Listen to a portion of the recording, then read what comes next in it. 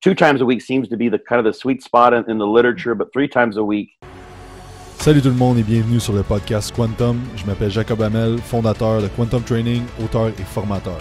Notre mission avec le podcast est de vous offrir les meilleures informations sur l'entraînement, la nutrition, la supplémentation et le mindset avec des experts dans leurs domaines respectifs pour vous aider à développer votre plein potentiel. Donc n'oublie pas de liker, d'aller faire un review sur iTunes et de t'abonner à la chaîne YouTube si ce n'est pas déjà fait et que l'épisode commence. Salut tout le monde, bienvenue au podcast Quantum. Aujourd'hui, je suis en compagnie de Dr. Scott Stevenson. Uh, Scott has a PhD in applied exercise physiology. Uh, you're a licensed acupuncturist and a competitive bodybuilder. Uh, you work in the field for more than two decades, I think. So uh, I'm really, really happy to have you on. So thanks for taking the time to be here.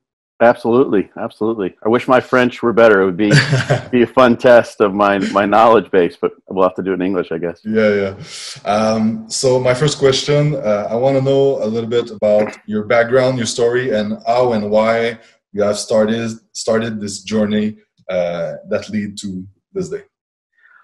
I really, at my root, I'm just a very curious meathead. Is what it kind of comes down to. I I played sports. I was a swimmer football um, in high school, and when I started lifting weights as soon as I could, like literally, I wanted to lift long before my mom would allow me. I think she she thought she believed that old wives' tale slash myth that uh, lifting weights will stunt your growth, um, which is rooted, I think, in the idea that you know you might have breaks somewhere near the growth plates, and then, then you'd get a stunted growth in that particular bone. But so I started lifting. it's almost 40 years ago now when I could take a gym class and weight training.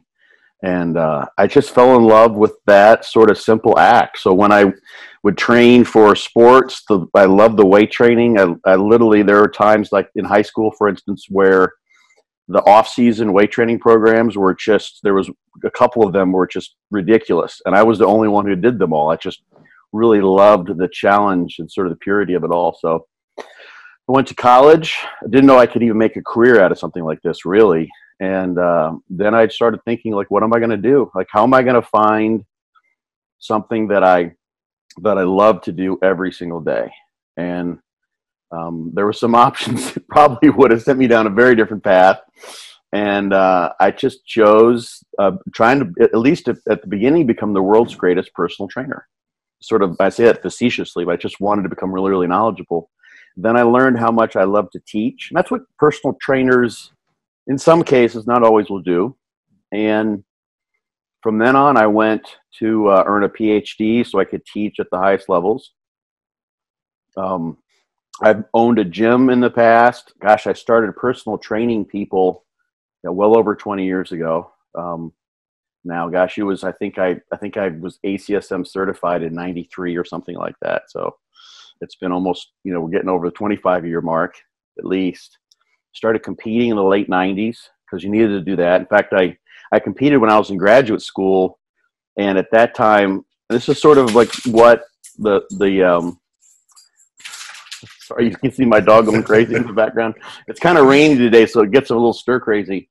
Um, the sort of ethos in grad school to some degree is that you just you completely dedicate yourself to academia and so i had to sneak around to compete for my first show. Like it was getting warm. It was a summertime show, and I was like wearing long sweatpants, and sweatshirts, because you could tell that I was getting ready that something was happening. So I sort of had to, you know, do that on the sly. So I've been competing there for 25 years or so, 20 plus years, and um, just trying to mix together. And this is where I think a lot of people are drawn to me because I've mixed together and try to blend the science or pull from the science and, and gather the directional pointers that the scientific literature can give us, as well as basically practicing what I preach in the gym. So there's there's sort of two universes there in some people's minds. There are some people who are just you know all you know if the if the legends didn't do it, if Ronnie didn't do it, you know if if then there's really no reason to worry about that. And there are some people who who literally take they try to take the research literature. This is at one end of the spectrum, not everyone, of course, but and they they suggest that if it hasn't been demonstrated in a study, then it can't be real in some way, shape, or form. Um, and so I blend those things together in ways that I think people appreciate. So that's that's probably why you I find myself here speaking with you is is that combination of of um, overlap that I try to bring to the table to help people learn how to how to become better meatheads. Basically, yeah. sort of what it comes down to, to large figure, at least for bodybuilders. Yeah, for sure. And can you explain a, a little bit your uh, your structure around fortitude training? How do you mix things, and what's what's the big picture of that? Yeah, there's two ways you can go at that. Actually, that's a good a good question based on what I just said. So one way of looking at at at this, sort of from the kind of layperson's view, or someone who's been just training in the gym, is we know, although it's not the only strategy you can take, one of the best strategies that people will often take in trying to prioritize a weak muscle group that doesn't seem to grow very well is to train it more often. people do it with calves, of course, is the obvious one, but people do it with arms. People say, you know, I prioritize my back by training it twice a week. so we see that, we know that's the case. And if you look at just various aspects, everything from language acquisition to getting a sunburn versus a suntan, getting a callus, the response and adaptation pattern that you tend to see that makes sense sort of teleologically and evolutionarily is that you would it would require somewhat of a repeated consistent exposure to some stress in order to evoke an adaptation. So more concretely if you want to get a good tan you probably wouldn't go and spend an hour in the tanning bed once a week you just get burnt and then you maybe recover but you would never develop that tan that you want on the skin and so the same thing holds true. I think this is why people would train more frequently, is that they really want to send a signal that there is a need to adapt hypertrophically to the resistance exercise stimulus, that you would do it more frequently. So this is something that I, I sort of came to years and years ago, and then I and then I came across DoggCrapp training, DC training, which is sort of renowned as a, a higher frequency training regime. And the literature was starting to develop at the same time, too, showing that there's possibly some benefits to higher frequency training for individuals. So you look at the way most pros train, IFBB pros, the biggest uh, freaks in the bodybuilding world, and they will train typically with a higher volume, not always, but many times. Dorian Yates didn't, for instance. Um, like a freak that's well known today is Jordan Peters. He's in the UK, and Jordan and I have worked together. He's a good friend of mine and so he trains with a, a higher frequency or a more effortful type of um, training structure. Basically, it's it's really really progressive overload in terms of the weight on the bar as opposed to the training volume. So the thing that is an issue there in taking from what the the biggest freaks do, especially most of the IFBB pros, is that those people are categorically different, more than likely, from what most people are in the world. Those are the end of the bell curve. And I can sort of explain that if you want to dig into that, or at least give you my, my reasons for why they, they think they grow so well. And there's a number of genetic factors that are involved. But thinking about the average person, which I would consider myself to be, and, and I literally, I spent a, at least a decade taking on that higher volume training approach, and it didn't really do very well for me until I really started to focus on becoming the strongest, most sort of impressive bodybuilder in the gym that I could. and so I took those pieces, looked at the literature, everything from, for instance, um, the the well-known, well-documented um, phenomenon that muscle protein synthesis is only elevated um, significantly for maybe 24, 48 hours most. So it makes sense then, and if we think about this from an evolutionary standpoint, that you would expose your muscles to a training stimulus every 24 48 hours like on a regular basis not once a week now there's some other factors that i think explain why once a week training the quote unquote bro split can be effective as well but i came across that information some of the frequency studies that have been done now the sort of general takeaway and of course a lot of this is with untrained individuals um, starting off. There's not a whole lot of um, studies looking at frequency with highly trained individuals, or at least recreationally trained. and even then, you need to read the um, the subject characteristics when you look at those. You know, three to five years of training, and they're they're still benching body weight as a one rep max. It doesn't that doesn't, but you know, tell you that they're extraordinarily well trained. Um, but you do find that taking a given volume of training, so number of sets per week, and you tend to be able to recover from um, a larger training volume by spreading that out. So you might be able to do 10 sec 10 sets in a given workout and basically you're you're approaching quote unquote junk volume if you try to go beyond that you're not going to evoke a greater uh, adaptation. But if you were to do six or seven sets twice a week that's something you can recover from over the long haul. And there is definitely a dose um, response uh, phenomenon when it comes to adaptation to training volume. So more is better to some degree.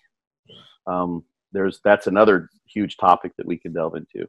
So I took those things and pieced them together. I also looked at the fact that we know that there's there's some relationship between getting brutally strong and becoming really really large. You can have very very strong people who aren't that impressive muscularly, but there's going to be something if you take someone who's bench pressing 225 pounds, 100 kilos, and you take them to 300 kilos or 200 kilos. There's going to be you're going to see that in the musculature that's worked there. So heavy training works there's also a, um, uh, a growing body literature that, that pretty well substantiates even the blood flow restriction literature demonstrates muscle growth with just 20% of a one rep max. So high rep sets, if they're taken to failure, especially, can also produce muscle growth. And um, there's also another way, and this is something that I, that I found with DoggCrapp training, cluster sets. There's various types of those that are out there. And there was one particular uh, uh, kind that was in a program called Titan Training by Leo Costa. And I just borrowed his name. He had written out a, a muscle round in his own formulation that that I couldn't make total sense of. I way overdid it. And there's a story in my Fortitude training book, which you may have read. Yeah, yeah. Um, and I literally overtrained myself. I, I, I, I, pushed way past the limit and I had to pull, pull back. But I learned a lot from that. So cluster sets, the way I formulated them, are a way to impose relatively more stress on the musculature, which I think has an extremely good ability to respond in terms of muscle growth relative to the inroads you make on the nervous system. So, really, our nervous system and its connections with the endocrine system and the immune system are the things that those are the limiters to how much training volume we can recover from to some degree. Everyone's going to vary substantially here, but so I put together resist fortitude training based on this idea of train the muscle frequently, three times a week. Um, there's even one version that's a four time a week training plan, and not everyone can get away with that. It's not necessary for many people, but three times a week is sort of one end of the spectrum. Two times a week seems to be the kind of the sweet spot in, in the literature, but three times a week it also works as well. There's a there's a blood flow restriction study um, that was done in Japan, I believe, and they trained 12 times over the course of, or it was like 12 times a week. I think it was twice a day for two weeks. And that was the greatest rate of muscle growth. Very short study, but so higher, higher frequencies can be done. Put the higher frequency into, into play, put the heavy sets, the higher rep sets, and a cluster set into play, and then recognize that there are different abilities to adapt to different training volumes. So I have volume tiers that are built in and that that covers to some degree the ind- individual variability in recoverability and how well people can bounce back from a, a training session and sort of put those as the ingredients into the fortitude training stew and then came out with the book with there's some other pieces in there but those are the basic ideas is to try to figure out a way to get people who don't have the i just go in the gym it doesn't really matter what i do as long as i train reasonably hard i'm going to grow really really well type of genetics and try to fashion together the bits and pieces that will make a difference for them um, into one program. So yeah. that's where Fortitude Training came from. And uh, it's available on your website, eh? Yeah, you can just Google Scott Stevenson bodybuilding, and you get. I've got numerous URLs, but you'll you'll find it pretty easily if you just yeah. Fortitude Training. You'll find it. You just yeah. Google that. Perfect. You you mentioned a couple of uh, of good uh, topics. Uh, genetic factor. Can you elaborate a little bit on that? Yeah, sure. So it, it's funny. There's the, this always pops up. We, you, you know, like one of the things that will happen when you see someone who is like a Phil Heath, who will um, just just blow past their peers. Um, there's people probably know, have known these people. They played um, sports with them, or they went to school with them, or they did they played music with them, and you can look at you know people um, you know, Car- Carl Lewis, or you know, take take any of the Olympic sprinters who are running sprints at speeds that 95, 98 percent of the world could never even approach, probably within a second. No one really balks at that unless you really wanted to be a sprinter. Um, you take people who have Einsteinian-like uh, um, intelligence, and people just, well, yeah, he's just got you know good genetics for intelligence. You take height, like, gosh, I really want to be six foot four. it's it's not going to happen. Where it's not that's there's, there's a genetic component to this. So across all sorts of aspects of human phenotype, um, you find that there's maybe like a, it's roughly like a 50 50% um, uh, variance is explained by genetics. So nature versus nurture, your environment, which you're exposed to growing up. So those things can be manipulated. Um, so that's that's the first thing that's kind of hard for people to kind of grasp when it comes to your body, because especially if you're a bodybuilder, because your self-expression of like literally your willpower and your you know your your desire to achieve something really really amazing and extraordinary is in how well you can produce an extraordinary physique. And to know that like there is just limitations is is a hard thing for people to grasp but there certainly are and, th- and they've demonstrated these things in numerous ways so there's a whole body of literature that's kind of growing. It's pretty cool. One of the one of the important things seems to be the number of satellite cells a person has um, at the start and the extent to which um, the satellite cells are turned on in response to resistance training regimen. So, satellite cells are uh, basically kind of muscle specific stem cells. They're non differentiated, they're not contracting, they're basically just nuclei that are waiting to respond to an injury, which resistance exercise could be considered. And they undergo uh, um, a proliferation and a differentiation response, so they make copies themselves. And then those nuclei that are created from the copy of the satellite cell will make their way into the muscle cell and provide a locus for nuclear control in that cell. So as a muscle cell gets bigger, and muscle cells are very, very big in the first place, um, the go the the general thing you'll see there are certain exceptions to this but the general thing you will see in especially with resistance exercise and in most models not always there's still some debate about you know how absolutely pertinent this is is that you'll need more of those nuclei because the cell's growing so large that if for a larger volume of cell you simply need to have more nuclei to govern the protein synthesis all the repair, everything that's going on in those areas of the cell. It's I always liken it to the analogy of um, a growing city and the number of post offices it has. So if you've gone taken a city from one million people to two million people, you're going to need to populate that city with more post offices um, because you've got more packages coming in, more packages being delivered. Everyone's using Amazon Prime, and UPS sometimes takes over for that. So you need to have more post offices. Otherwise, you just couldn't get the job done with the original number of post offices. So the people who are, tend to be genetic responders or extreme responders have more of those satellite cells. The myotrophic factors like IGF-1, myogenin, those sorts of things that get released to turn on that process that the satellite cells undergo are released in greater amounts, or the mRNA is higher. So various the, basically the simple response to a standardized regime is such that those people tend to set that process in motion better than others. Mm. And here's where I think genetics come in. This is just my own kind of running uh, hypothesis right now. Is if you look at the data on that process, it seems like it's something that's that's that's going on for at least a week, um, if not even longer than that now. So that seems to be quintessential. That's a very important part of the muscle growth adaptation, hypertrophy. That's what we're thinking about here specifically. And if you're someone who has good genetics and a single bout of exercise turns on that process that lasts for a week, then there's really no reason to train again. You've already set the boat in motion. Um, there's no reason you're going at the speed that you can go to make the cells bigger. So there's no reason to paddle with another workout. Now, if you're someone with not the best genetics, or perhaps with a stubborn muscle group, which may I haven't seen people um, do this. I'm, I'm. It would be really fascinating to find um, to find out if to some degree, the reason why certain muscles grow more so than others within an individual is because they have more or less satellite cells or a greater or a lesser response to a given training bout in terms of turning on those satellite cells.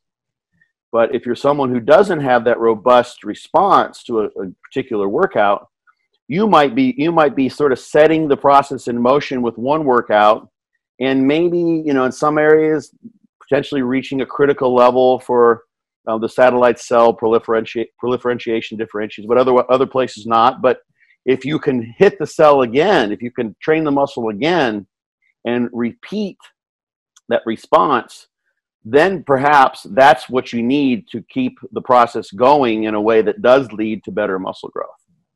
That's why so, the before that the bro split can be good for some people that have like genetics uh, more habilitation to uh, take the the satellite the satellite cells to the muscle. Yeah, they they tend to be have more of them to start with, yeah. which is an advantage because you can get growth without.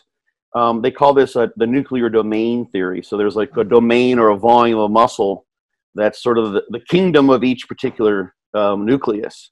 So if you want a, a, a larger muscle cell, you need to have more nuclei um, and you try to keep that ratio to some degree. So those people just they have the, the possibility of actually growing um, and and having more nuclei to govern the areas, which is probably an advantage too. Each nucleus is is is responsible for a certain amount of protein synthesis. And there's some interesting stuff that's come out in the last few years. For instance, at the beginning of a training regime, where someone first starts training, there's a protein synthetic response. Day one, you go in, and the idea has sort of been that that is a surrogate for how much growth adaptation they'll get over the course of a three or four month training program. So the people with the most robust protein synthetic response would, you would think, have the most robust adaptation in terms of muscle growth. Well, if you look at the beginning, like day one, that's not the case. And the thing that differs day one, for instance, versus two or three weeks into a program is that you've got a lot of. Hold on. Blitzy, Blitzy, it's okay. Hey, good girl. Hey, Blitzy. No. Good girl. Hold on a second. Blitzy, come here. Good girl. It's raining, so they they go outside normally. So now they just stay inside and bark out of frustration. Um, so you would expect uh, the thing that's different about that first training um, day is a lot of muscle soreness, a lot of muscle injury, and there's a repeated bout effect phenomenon or protective effect of that first bout, such as you don't get nearly as sore the next time you come around. You don't see the same level of inflammation, muscle soreness, DOMS, all those sorts of things. So that first bout really doesn't tell you much, but if you wait two weeks in, three weeks in, and, and Damas has done this this particular research they've done a lot of really cool stuff. I really like what they've done. And then you measure protein synthesis three weeks into a 12 week training program and correlate that with muscle growth. You get correlations on the order of like 0.8 out of with one being a perfect correlation. So, someone who's got a lot of myonuclei, and that wasn't measured in that particular study, but they simply have for a given volume of muscle cell, be it big or small, if they've got more myonuclei or a higher myonuclear density, they have a greater capacity for protein synthesis. So that's one thing that's that seems to be pretty important as a satellite cells. There are things called microRNAs, which are involved with sort of metering out which which uh, genes get turned on and which do, which don't, and variations in those microRNAs also have been uh, associated with with muscle growth too. So, um, if you look, for instance, just at the muscle soreness, you can look at muscle soreness and DOMS and muscle injury. There's variations there in, for instance, the IGF-2 gene, which is sort of an interesting one. We talk about IGF-1 all the time but variations in the IGF2 gene seem to be uh, implicated in the now it's muscle soreness someone will have. And soreness, we think about when you're going to be able to come back and train again. Soreness is, it tells you something. Obviously, the muscle is so sore, it's sore to touch, or any stretching really, that's probably not the best time to go in and train again. you want to have some some uh, measure of recovery before you go and hit it again with another workout. So people who have variations, for instance, in that or variations in soreness in general, are probably gonna have to wait longer or train with a lower volume if they want to train at a given frequency because they just can't recover from higher training volumes. So there's an there's there are genes involved with muscle soreness that are there's structural genes. There's the IGF one. Um, I think interleukin six as well. One of the interleukins has been involved. I can't remember. I think it's interleukin six, which has anabolic effects, but it's also involved with inflammation. Those all play a role in muscle soreness, and that has that has an overarching effect on how often you can come in and train. So if we take that basic notion of a dose response in terms of training volume, if you're someone who recovers quickly, you can train with a higher volume. You can turn on protein synthesis more often, have a greater area under the curve, so to speak, in that particular response. And when it comes down to it, eventually you're going to have to have um, protein synthesis exceeding protein breakdown over the long haul if the muscle cells are going to get bigger. So that's just looking at it from a hypertrophic.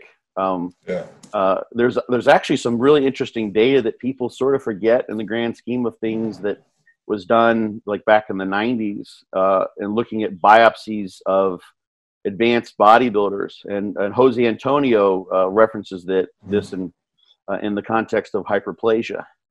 And these studies demonstrated that in, in bodybuilders with very enlarged muscles, one and a half, two times bigger than the controls, they had muscle fibers which were the same size.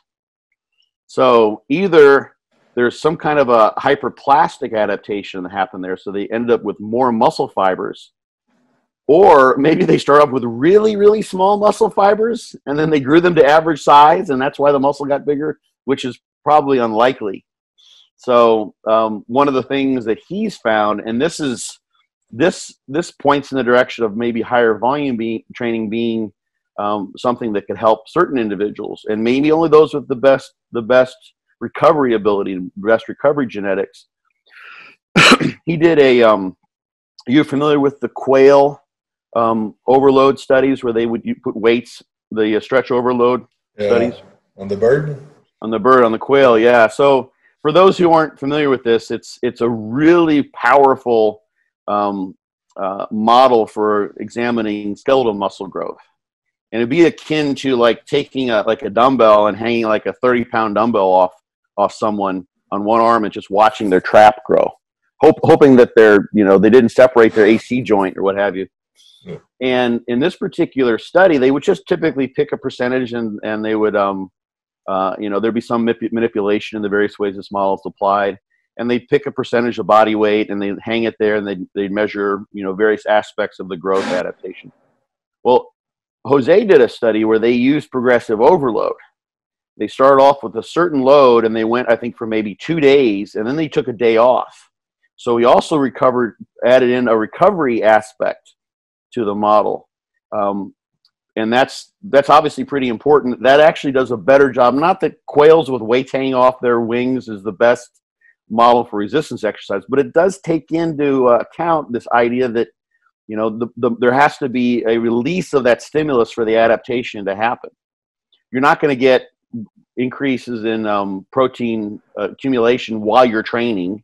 Protein synthesis is turned off during exercise because the energy demand goes to providing ATP for the contraction. So he would load the wings of these quails for I think two days and then take a day or two off and then come back with a heavier load for a couple more days. And he did that over the course of like 28 days.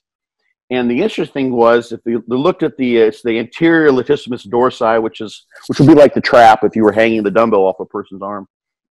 It grew over the course of this four week long study maybe been like 31 days, something like that, but it was about four weeks long. It continued to grow and grow and grow and grow and grow all the way to the end. And so they had some animals they would sacrifice at seven weeks and they'd see how much growth they had, and the other ones would continue, and then they just would eventually pull from the animals until some of them lasted until the very end of the study. But the fibers grew and grew and grew and grew and grew. And then I think about three weeks in or so, the fibers started getting smaller while the muscle kept on growing which suggests that and the and the and the actually the number of type 1 fibers increased as well if i'm re- recalling this correctly that's what you see in many highly advanced bodybuilders when you take biopsies from them lots of average sized type 1 fibers in very very large muscles. That's what was happening to this quail muscle. It was getting bigger and bigger and bigger and the fiber type was shifting to a more sort of endurance fiber type and getting smaller but they seem the, the only explanation that makes sense is that the growing muscle meant that the fibers were increasing in number. Basically hyperplasia was occurring. So that's the thing that sometimes i think we have to we wouldn't expect that to happen in four months in untrained individuals or three months. But over the long haul i think there's there's there's that's something to consider in terms of what can make a muscle bigger in bodybuilders who've been doing this for eight or ten years. And you know studying them for that long is going to be hard to do especially taking biopsies from the precious muscles they tried to you know make so large.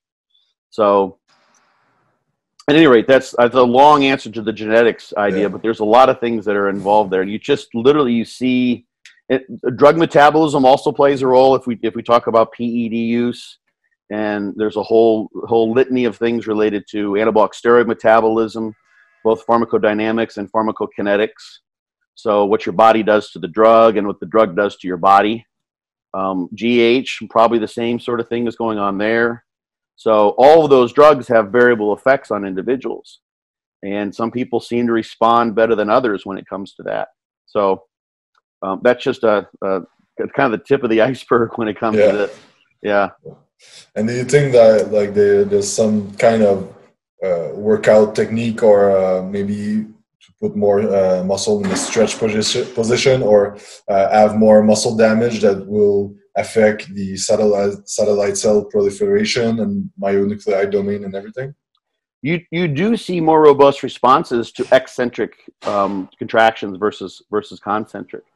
Um, eccentrics also tend to increase more so the, the, the size of a muscle at its ends near the tendons.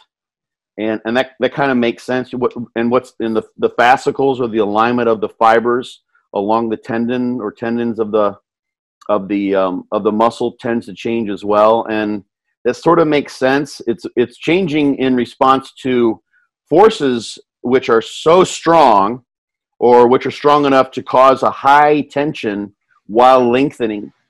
So if the muscle the muscle wants to basically adapt to whatever stimulus it's given, in this case, if you if you were a smart muscle, again, this is sort of a teleological explanation, but it makes sense and it's easy to remember in that way.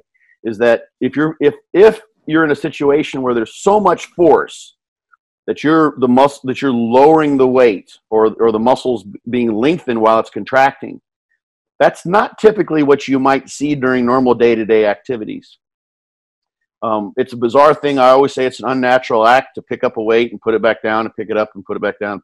Just repeatedly doing that is is something you would you rarely would see. You're either going to lift things continuously, or you just lower them if you're taking things off up, you know, from a higher level to a lower level. But up and down, back and forth, that's resistance exercise. That's that's sort of like I mean, you can imagine aliens coming down and, and they see these these people that are you know, just like picking things up and lowering them. It was like, what, what are they, where are they going with this? Why are they doing this?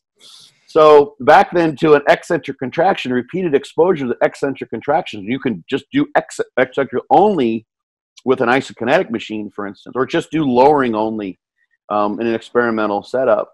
Um, that's threatening lots of force and the muscles being lengthened.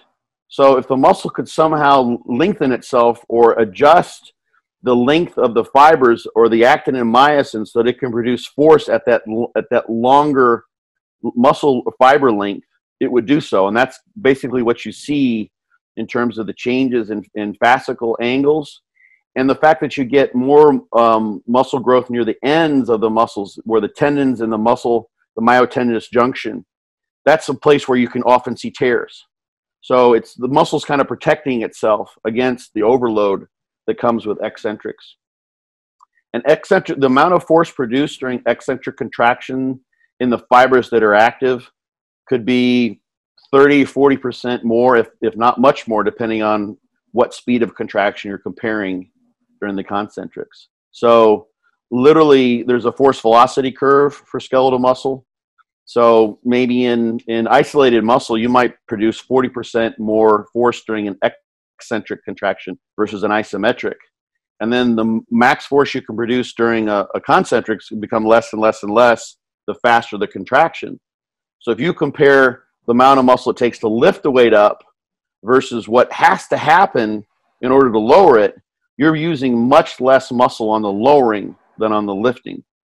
So the force per unit muscle is much greater on an eccentric contraction than on a concentric contraction. But the metabolic stress and the, and the, the metabolic energy demand is much greater on an eccentric, or sorry, on a concentric than an eccentric. So having eccentrics kind of get at your at your question is something that's that's important for that. Um, the other thing that uh, is really uh, it's it's funny because it seems to be missed a lot, but when you change exercises or when you do different exercises, even if it's comparing an EZ bar curl versus a dumbbell curl, people will just look at those biomechanically and say, well, you know, it's it's elbow flexion, so it's these muscles that are involved.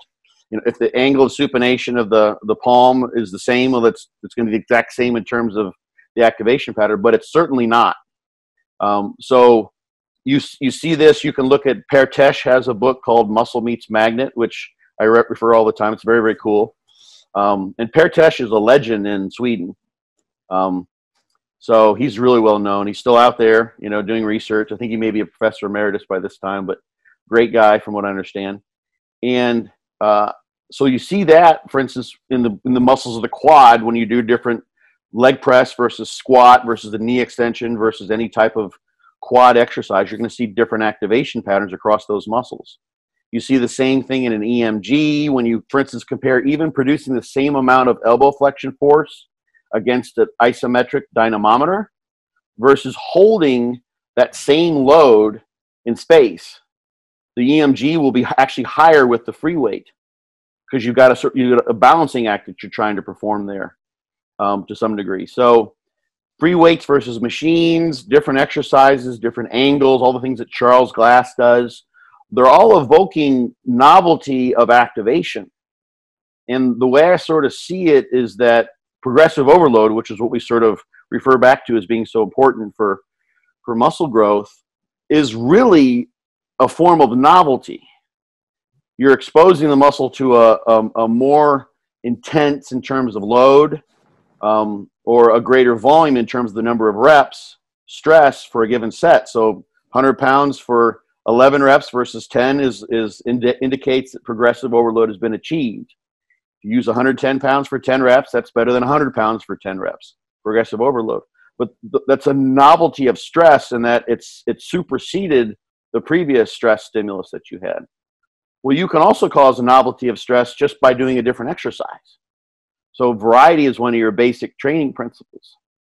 And someone who who, who does this, who who's maybe been doing a, a deadlift with the barbell for you know an eight week training blast or you know several months, and then they go to doing a bar a deadlift with a on a Smith machine or like on a leverage machine, they'll get so you'll get substantially more sore, even though you're you, the, the the number of reps that you're using and the number of sets and the extent to which you gave it your all and how many uh, effective reps you had or how many reps in reserve you kept. Those all things could be different. You should literally just changing the exercise can produce muscle soreness where it wasn't before. And that's because the activation pattern is different. So there's a study by Frontera that people often refer to looking at the muscle quad, specifically muscles, and they found growth in all of those when they rotated exercises over the course of the training program as opposed to sticking to just a few exercises. So variety is the spice of life, and um, the spice of training and muscle growth, I think too.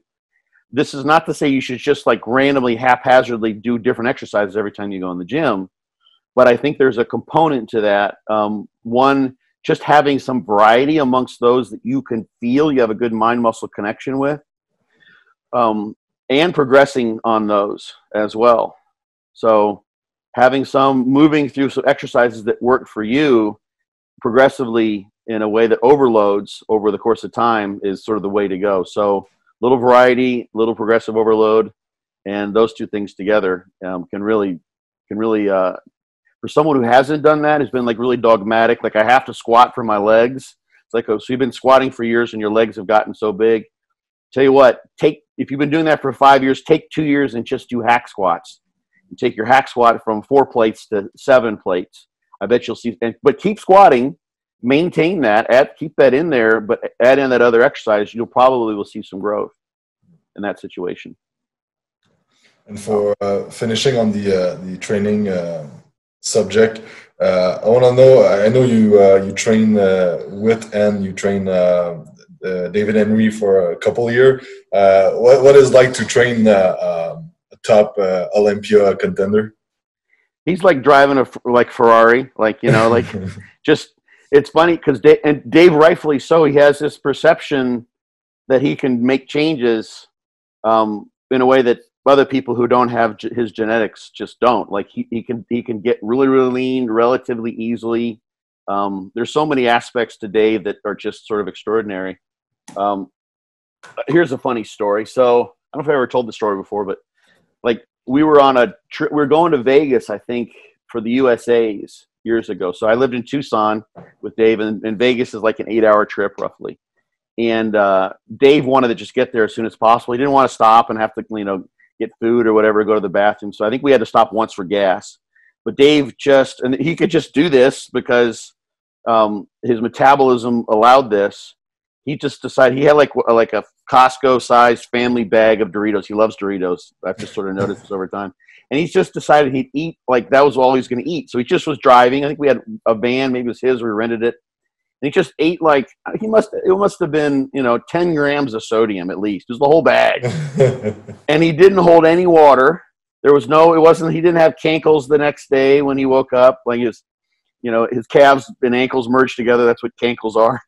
Um, and he just like it didn't impact him at all so he, it's just he has great he has great genetics for water metabolism. He can get dry really easily. Yep, grows really easily. Um, he was great to train with. It's funny. I was just talking with um, a, friend, a friend of mine, Mike Gustafson. He'll probably watch this. He's uh, originally from Sweden. He's competed from the in the 70s, 80s, 90s, 2000s, and he got his NABBA Pro card in 2011, I think it was. He's a Masters Mr. Universe. So he's been around the block a few times and uh, we were talking about when Dave and, and Mike and I were doing DC training, and that was one of his best growth cycles. And he said, and part of that was just the fact that it was, and I was sort of analyzing. It's like, well, Mike, Mike's been, Mike's trained with some absolute badasses. He's trained in some hardcore gyms. He, Mike trained in a gym once, if, if I remember the story. Like there was no air conditioning, there was no heating, all the windows were busted out. This was in Sweden, and literally there would be snow. And you'd have to shovel past between the machines to get to, from machine to machine. And there was always a plate on the bar. They didn't ever use quarters; they just used plates. So if you're going to squat, you're going to go single, one plate, two plate, like 20 kilo plates, 45 pound plates. That's just how it was. There's no like you know, just they just big, go big or go home. So it's it's Mike who's never going to give up, and me, and I just love to be an idiot in the gym and just kind of go bonkers. And there's Dave, you know, it's just this amazing physique and strong as shit. So that that dynamic was just awesome but in part because it always gave me something to kind of shoot for. It's like people get motivated. They watch like ronnie coleman you know um, videos before they go into the gym. Well i had that right in front of me the entire time you know? I'd actually come back and watch a ronnie video i'm like hey, he's not that impressive because i just trained with dave you know so there was extraordinarily motivating in a certain sense, but it also gave me a, a, a tremendous sort of perspective. And um, I'll just tell, I'm, I think I probably have a different listenership here with you to some degree, so I'll, I'll tell the story. It was, um, I think it was 2009, and it, yeah, it must have been. And Dave had just won the 202 Mr. Olympia the year before, and we were both were dieting down. I was I was getting ready for the Mr. Arizona, so my so my state show and I I had maybe I think I maybe had won my my class once, maybe hadn't even won my class. I'm just trying to become like win the heavyweights in the in the state level NPC show, and I've been training with Dave now for five or six years at least. And so we were we would train and then we go and we'd pose and know I'd let him go through the ringer and then I would go through the ringer and we're standing there, we're pretty tired and dieted down, and, and Dave just kind of casually looks over at the mirror and he, he says, "It's like you know, man, it's just it's amazing. Like we've been training together, you know, and eating a lot of the same foods and everything, and our bodies just look so different." And I'm like, "Yes, Dave, I've noticed that. You're the reigning 202 Mr. Olympia, and I can't even win my state show." So he didn't like he didn't say that in any bad way. It wasn't derogatory whatsoever. It was just a casual, you know, observation, which was dead on. And I just realized, you know, no matter what I do, no matter how much I know, there's going to be a genetic limitation to some degree. So that was actually really good. Like that, like talk about an ego check. Boom, like get back in the box, Mr. Ego. You have no business here because that's the guy who's like got the genetics and this is what you have. So that was um uh, it made me realize that. It made me realize that I'm going to maybe have to work harder than some other people who have better genetics, and uh, but it also made training a lot of fun too. So, um, yeah, it was good. It was good. And, and, coaching Dave's great. You know, we still I help him to varying degrees over the years. Some shows not so much. Uh, lately, we've been staying in good contact. I think I just sent him a message this morning or yesterday. So, um, yeah, it's it's been uh, it's been really nice to be able to just because he's so well known and uh, his physique is just you know totally off the chain. It's been mm-hmm. kind of a blessing to have met Dave in the gym. We just started training as you know two dudes. Um, he hadn't even competed yet. He'd just gotten his pro card when we met. So yeah, we've been at it for a while. Nice. And uh, can you talk a little bit uh, quickly of your uh, your view on nutrition with your your type of training and supplementation? Yeah, so uh, we just I just did a, a roundtable podcast on um, that uh, a lot of people are watching. It just keep getting tagged in story after story listening to this.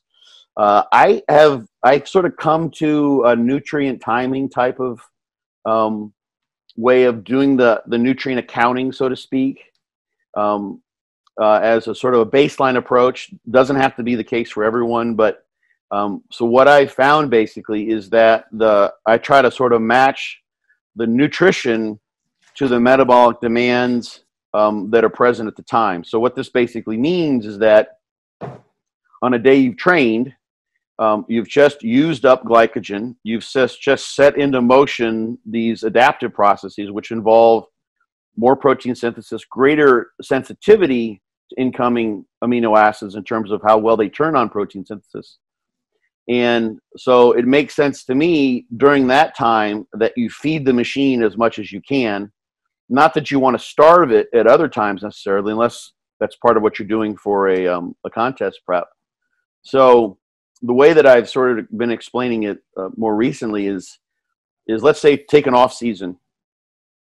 And for a given individual, there's a caloric intake of 4,000 calories a day that was going to give them a good rate of gain so that they've got a good P ratio of muscle mass to body fat. So if they go to 4,500, they start gaining a lot of fat. That's too fast. You can only turn on muscle muscle uh, protein synthesis. You can only gain muscle at a certain rate. So, I mean, literally, if you break it down uh, on a daily basis, if you consider muscle to be about three quarters water, so an ounce of muscle is like 28 grams and you can have a, a, protein balance, a positive protein balance of seven grams per day. So that means that if someone takes in 207 grams of protein, then 200 of that is oxidized and set, and used elsewhere. It ends up uh, replacing the protein that's been broken down, but they have a net accumulation, a net balance of seven grams, and that's just that's 30 calories worth of that's 28 calories worth of protein. That's nothing. That gives them an ounce of muscle mass a day, and that ends up being like 22 or 25 pounds of muscle in a year not very much. Now, of course, there's an energy demand there too. It's not as if you know you, it doesn't take any energy to construct that skeletal muscle, and plus you have to do some pretty, especially if you've been training for a while, some pretty extreme things in order to make new muscle and produce that growth. But that's a very small balance that you're trying to evoke, and it may take a lot of food to do that. So anyway, back to this this person who's at 4,000 calories being sort of what they've figured out gives them a good ratio of muscle to fat. And then if you think about what you need to do on days that you train versus days you don't train, well, I would say that if I had to pick a day um, where I want to bring more calories in, make sure I've got plenty of protein available for the reason I just mentioned, those days are going to be the days that I train. You're still recovering on the non training days, so you don't want to not take in adequate protein. But if you've replenished your carbohydrate and your glycogen levels are relatively full, which they're going to be probably anyway, no matter what you do, if you're eating enough and you're not on a low carb diet during your off season, then what? And there's so there's going to be an ebb and flow in terms of the protein synthesis that's going on, the rate of muscle accumulation, and also you want to counter muscle breakdown to some degree. It makes sense to me just from that sort of theoretical perspective to use a nutrient timing approach so that you know maybe you're doing 4400 calories on uh, training days and 3600 calories on non-training days or something like that. You may train four days a week versus three days a week but more calories on training days makes more sense to me in particular during that post workout period when you've got increased insulin sensitivity you've got increased sensitivity to uh, amino acids so there's there's something there. The counter argument people would say, well, where's the evidence to suggest that works? And there's actually there are some there is some evidence out there. The main thing that worth considering is for me is like, is there evidence that, that eating in that way is is harmful, is deleterious? Probably not. So maybe it gives you one or two percent. Well, let's see. If it gives me one percent, what is what is seven grams versus of 200 or 207 grams of protein. Well, that's that's three and a half percent. Now, if I can, um, I've just uh, these, uh, these are weird numbers. We'll just play with the numbers for a little while, just for the sake of thinking it through. So, what if I go from two and a half gram, uh, two and a half grams to three and a half grams, or two percent to three and a half percent, or five grams positive protein balance to seven grams positive protein balance? You know, that's that's a very very small amount in terms of the relative changes in protein balance two grams is, is nothing. But two grams, if we use the math I just went through, two grams could mean eight or five or eight pounds of muscle over the course of a year. You add that up. I'll take that. Yeah. Give it to me. Give me two pounds of muscle at my age. I've been doing this for a while. I'll take whatever I can get. So I like to use that um, just for that reason. There are some good studies that um, that I've talked about before. There's a, a Cribb and Hayes study. There's a set of studies by Burd, B U R D. Darren Willoughby has done some work in this area too, where they've done a nice job of, of finding that actually it's just the timing aspect of nutrient timing, bringing in basically an intra workout, um, either giving feedings throughout or before and after, versus, for instance, giving the same feedings of protein and carbohydrates in the morning and at night. So the calories end up being the same, least in terms of, of a, reha- recall um, subjects provided. So it's not changing calories in any way necessarily. It's just the timing per se that makes sense. And theoretically, looking what protein does, what carbohydrates do, at least in terms of glycogen, whether they're impacting um, protein synthesis is another issue. Um, this the, what came up in the podcast was this particular study by Staples, for instance, that suggests that taking in carbohydrate during a workout with protein doesn't increase the protein synthetic response it's brought on by the protein. But remember, that's a singular session. And we know that those singular sessions, like at the beginning of a training period, are not very good way to predict what's going to happen in terms of muscle growth because you've got this repeated bout effect, you've got so much soreness going on. A lot of that protein synthesis is just going into recovery from what's a novel stimulus. So I don't take that study, um, that singular study, although it was well done. Um, the, some of this follow-up information as to how well that can be applied to the long term tells me that um, what I found with clients and myself, and just the other advantages of taking in carbohydrate um, and keeping glycogen levels full makes sense. So I tend to use that kind of an approach. There's probably also an impact on insulin sensitivity. So if you've got someone, I will very much do this. I'll take someone after a contest and just start adding food to an intra workout and, and the two meals post workout. It's like a six to eight hour window. This is what I have outlined in the Fortitude training book. I have a demonstration of kind of a, a multiple weeks of dieting with someone in my uh, Be Your Own Bodybuilding Coach book, where I sort of show how this is done. And um, I will add food there and build upon that while keeping what could very possibly be for many months a uh, pre-contest level of food intake on non-training days. So someone trains um, four times a week. They may their non-training day diet may be very much the same for the first couple months after a show, and it.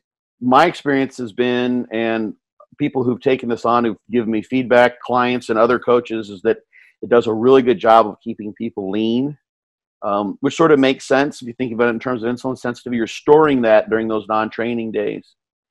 Um, so uh, I really that that's a very nice advantage there. It's also it, it's a very easy way to account to do the accounting. You're just adding on singular meals. And the other thing that I like to just as a global approach when I'm adding food outside of that is I pay attention to what the body is telling me. So um, there will be certain meals during the day, and of course, this is this, these are small percentages here, but there'll be certain meals where you're maybe hurting. So let's say someone gets up in the morning and they're not the day after training, um, they've just had big meals, they're not very hungry. They have a, a get enough protein just to sort of get themselves at a negative protein balance in the morning for breakfast, and then they maybe have another mid-morning meal, and but they're off to work, so maybe they they walk to the bus station because they live in the UK or someplace where they don't really need a car. So they do a lot of activity. The job keeps them busy. Maybe it's something they do at the first part of the day. They're busy. And they have a, a same sized meal for lunch, or what seems like to be plenty, uh, plenty of food for lunch, but it's the meal that's the least satisfying meal for them during the day. So I'll have people report back to me what their levels of satisfaction are, either in terms of how much hunger they have before the meal or how well it fills them up and we use the body then the body's own feedback to tell us where to add food. So the worst thing you'd want to do is let's say add food to, the, to a meal where you're already full afterwards. There's no there's no point in that. It actually could possibly even create stress. It's like god i hate this meal. I just i don't want to have to overeat this meal. I'm not hungry for this meal. That's not the meal to add food to. It's better probably to add food according to what the body is telling you. Um, because it's not as if we can just you know force the body to do everything we wish it to. It, it, makes sense to work as much as you can with the body's own homeostatic mechanisms. So I add food there, um, and and allow the person to to uh, to sort of meter in their own food as we add food to those non-training days or other meals. This fits well with the um, uh, sort of the, the protein timing. There's uh, there's an idea that has been put forth and it makes sense in several several studies that it's better to have protein meals spread out throughout the day. Um, protein pacing is the name of the the concept, which you can find if you dig in the literature. Just go to PubMed and you can you can look some of that up. So having protein and having food spread throughout the day, I think makes sense um, just for that reason. So I'll pay attention to the person's appetite, where, where they can add to, where they can't. Another thing that I like to do for instance, is take advantage of the body's diurnal patterning. So you'll find if someone, let's say they train at four o'clock or five o'clock when they get off of work, so their meals are big during the end of the day, they'll follow to that pattern on the non training days where their hunger is higher. And so you can take advantage of that. So let's say someone, uh, we've gone through weeks or months of dieting and we've really added that post workout period. They're taking in big meals then um, and then they sort of top out like I can't get any, any more in. So we start to add food. Um, either if there's some meals that they're really hungry for, we'll add there probably first. But if they really can't tell on a non-training day, we'll add food during that post-workout, that end of the day period, which would be post-workout on training days. And a lot of times that'll just kind of come up. They'll just end up being more hungry. So you start adding food there on the non-training days, and somehow, even though the overall food intake of the diet has gotten higher, that will open up a little bit the, the post workout meals on the training days. They'll then be able to add some more. And it's because we're, we're really sort of reinforcing that circadian rhythm of more food during those times. And um, ask somebody like a bodybuilder who's been, you probably experienced this, you, you're used to eating every three, three hours. And literally, you get to like three and a half hours, you're like friggin' starving, you know. And some of that could just be psychological. Um, probably a lot of it is, but some of it could be just the fact that your body's sort of fallen into that rhythm. So I want to take advantage of that as much as possible because we're doing so many things to force the body to adapt. The more we can do to sort of roll with the body's feedback, the better, I think. Perfect. And I think uh, if people want to know more, uh, there's uh, plenty of uh, good stuff in the Fortitude Training uh, book and the uh, Be Your Own Bodybuilding coach also. Yeah. So thank you for your time today. where can people find more on you? Like I said, you can just Google Scott yeah. Stevenson Bodybuilding, BYOBBcoach.com. Get you to the book, or just drscottstevenson.com, dr S-C-O-T-T, my last name, dot com. We'll get you there too. All right. Uh, perfect. Thank you for your time and have a good day. You're welcome, man.